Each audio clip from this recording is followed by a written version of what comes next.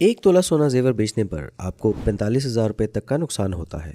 एक तोले का जेवर आपको एक लाख पैंतीस हज़ार से एक लाख अठावन हज़ार का पड़ता है, लेकिन आपसे कीमत पूरे एक लाख अस्सी हज़ार के हिसाब से ही ली जाती है।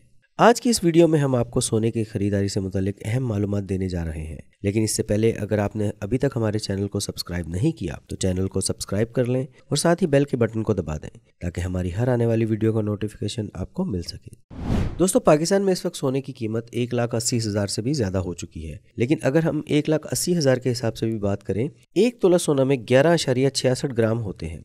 इस तरह एक तोला सोने में बारह माशे होते हैं और एक माशा सोना तकरीबन एक ग्राम के करीब, यानी सिफर अशारिया सतानवे ग्राम होता है।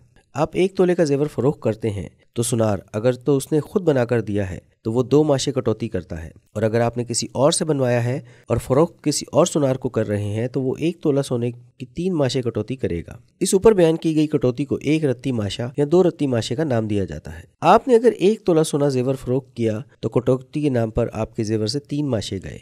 आज की मौजूदा कीमत के लिहाज से एक तोला सोने की कीमत एक लाख अस्सी हज़ार रुपये से भी ज़्यादा है। लेकिन अगर हम एक लाख अस्सी हज़ार से भी बात करें तो एक माशे के अंदर अंदाजन कीमत आज पंद्रह हज़ार रुपये के करीब है। और एक तोला सोना जेवर बेचने पर आपको पैंतालीस हज़ार रुपये तक का नुकसान होता है। अब दूसरी तरफ़ आते हैं, यानी अगर आप एक जेवर बनवाते हैं तो एक तोला सोना चौबीस के रात होता है। पहले आपको समझना होगा कि किरात का मतलब क्या है। किरात सोने के खालिशपन को नापने का मैार है। तकरीबन 100 फ़ीसद खालिश सोना 24 किरात होता है। जितने किरात कम होंगे मतलब इतनी ही इस सोने में मिलावट शामिल है। वैसे 24 किरात निन्यानवे इशारे निन्यानवे फ़ीसद खालिश होता है। 22 किरात सोना तकरीबन इक्यानवे फ़ीसद खालिश होता है। 21 किरात सोना तकरीबन सतासी फ़ीसद खालिश होता है, जबकि 13 फ़ीसद मिलावट होती है। अगर आप 18 किरात जेवर बनवाते हैं तो इस सोने में 25 फ़ीसद मिलावट शामिल होती है। मतलब अगर आपने एक तोला सोने का जेवर बनवाया है तो अगर एक तोला एक लाख अस्सी हज़ार का है तो आप एक लाख पैंतीस हज़ार के सोने की एक लाख अस्सी हज़ार क्यों दें? बारह किरात सोने का मतलब ये है कि इसमें पचास फ़ीसद मिलावट शामिल है। किरात कमियत वज़न के पैमाने के लिए भी इस्तेमाल होता है।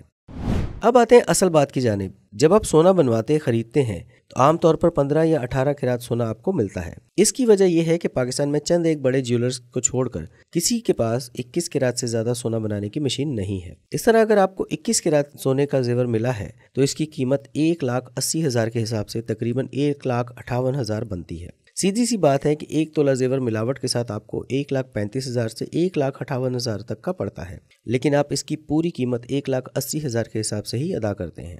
पॉलिश और बनाते वक्त सोना ज़ाया होने के नाम पर अलग से खरीदारों से वसूली की जाती है, जो कि दस हज़ार तक हो सकती है। लेकिन याद रहे कि सुनार की दुकान का कूड़ा भी लाखों में बिकता है, और इनका कम ही सोना ज़ाया होता है। आखिर में मजदूरी के नाम पर खरीदारों को दो चार हज़ार छोड़कर एहसान किया जाता है। यह आप ऐसा कर सकते हैं कि सोना बेचते वक्त सोने की डली बनवा लें, जिसमें से मिलावट निकाल कर खालिश सोना बाकी हो। फिर इस डली यानी खालिश चौबीस के रात सोने को इस दिन के रेट पर बेचें तो आपको फ़ायदा हो सकता है। जेवर बनवाते वक्त पहले तय करें कि सोना इक्कीस के रात का होगा, अठारह या पंद्रह के रात। जितना खालिश सोना हो, इसी हिसाब से पंद्रह, अठारह या इक्कीस या बाईस के मुताबिक कीमत अदा करें। ना कि चौबीस के रात की कीमत अदा करें। मुमकिन हो तो दुकानदार को ये बात कह दें कि मैं ये सोना मशीन पर चेक करवाऊँगा कि ये पंद्रह ग्राम है, अठारह है या इक्कीस की रात। अगर मुमकिन हो तो खरीदने के बाद सोने को मशीन पर चेक भी करवा लें, ताकि फौरी इस मामले को जांचा जा सके। उम्मीद है इस वीडियो से आपकी मालूम में इजाफा हुआ होगा। कमेंट बॉक्स में अपनी राय का इजहार ज़रूर करें।